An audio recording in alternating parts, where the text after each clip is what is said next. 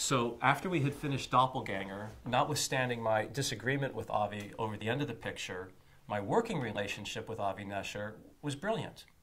We easily came together, easily put a schedule and a production together, shot it on schedule, posted it on schedule. Okay, the movie didn't work, and okay, he didn't want to fix it, but we made our money and we moved on. So we decided that we should do do a lot of these because he could direct them at a budget. I could I could produce them at a budget, and if we could find the right material, we we could make them at a budget, and we could have a successful little company and grow it. And that was our strategy. So I had reached out to Isaac Asimov a few years earlier and tried to buy the rights to Bicentennial Man. And as soon as I, I started to go for that, um, the agents came into play and started to say to every possible player in town, Borchers is going to get Bicentennial Man going once, he's going to get it going twice, going a third time. And another independent producer reached out and, and trumped my offer.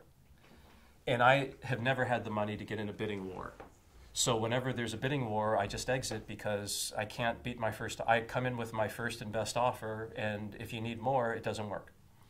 So the guy who got it, Neil, um, uh, was a really super nice guy, and uh, my financier, Don Levin, on Angel, uh, his attorney knew Neil, and I don't know how I discovered it, but I discovered it.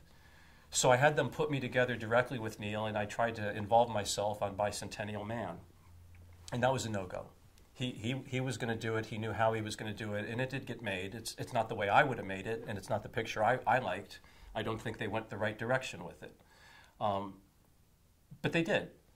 But he said, I have this other piece I'm struggling with. It's called Press Enter. It's, it's by an equally hot science fiction author. As I sit here today, I, I can't remember the name. Um, and it was a really cool little piece. It was ultimately about a guy who had his first computer, and the computer came on, and you press enter, and the computer had a consciousness, and it ended up being a horror movie where he couldn't get out of the control of the computer. And even if he tore the whole house apart and moved to another house, as soon as he plugged something in, the computer. It was a fun little sci-fi piece.